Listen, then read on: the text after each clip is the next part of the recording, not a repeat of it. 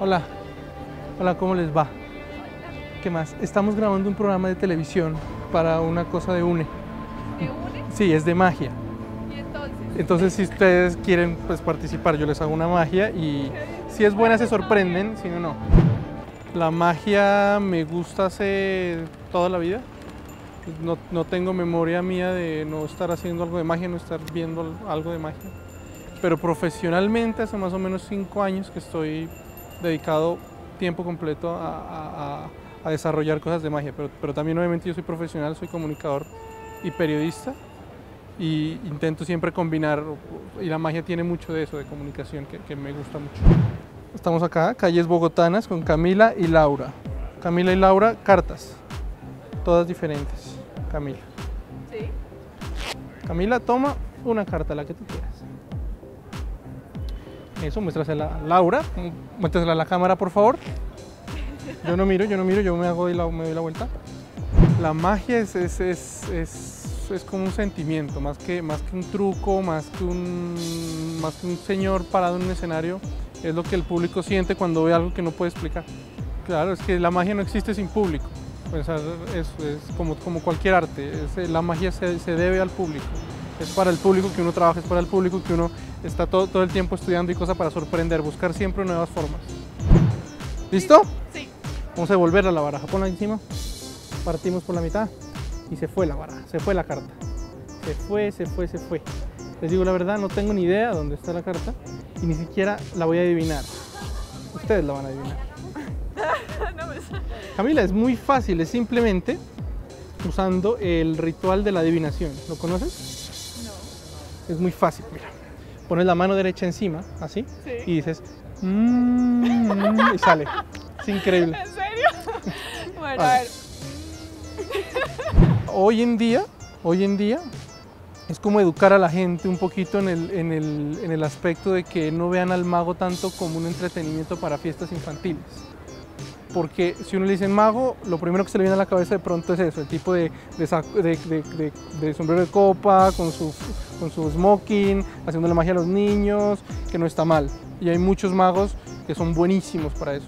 Pero hay otros, hay, la magia puede usarse, por lo menos como yo la uso más, es como una herramienta de comunicación.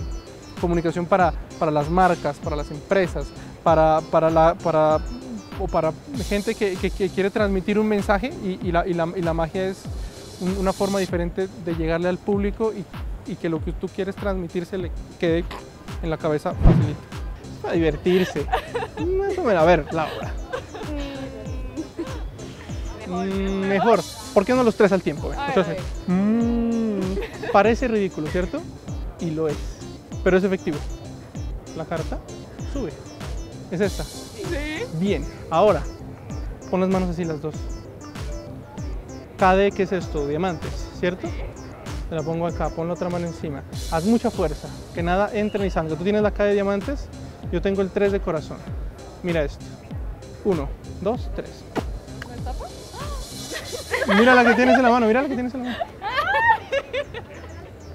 Ay, no, buenísimo. Sí, sí. ¿Les gustó? Bueno, muchas gracias. Bueno. es una ventaja nuestra, del- hablando del- del- de los magos, con respecto a los magos que existían hace muchos, muchos años, que para comunicarse entre sí era una carta que iba desde un continente al otro. Hoy en día es así, puso en el Twitter, oye, estoy en tal parte haciendo tal, tal show y se sabe de una, chéverísimo. Tome una carta la que quiera, Una carta. la que sea. Si es la misma, por favor cambia. ¿La vieron? Vamos a perderla nuevamente, póngala aquí encima. Partimos y se fue. No tengo ni idea dónde está la carta. Entonces, ¿qué pasa con la ventanita? La ventanita lo que hace es que me evita que el mago quede mal, ¿no? Si yo le digo que su carta es roja, ¿sí? Increíble. Entonces, ventanita, translúcida. ¿Se ve ahí translúcida? ventanita tras, translúcida. La carta es roja, ¿cierto? Increíble, ¿por qué? La carta es el eh, de corazón. Q de corazón. Carlos. No es Q de corazón. De verdad. La Q de corazón vamos a ponerla aquí, claramente. Y se ve, no era la Q de corazón, ¿cierto? Entonces lo que hacemos es que con magia, con mucho cuidado, tecnología de punta, porque la carta se empieza lentamente, lentamente, lentamente, lentamente a transformar en el 10 de corazón, que esta sí era la carta, supongo. Esta sí es la Esta sí es la carta. Esta sí es la carta. Y así es la tecnología y la magia.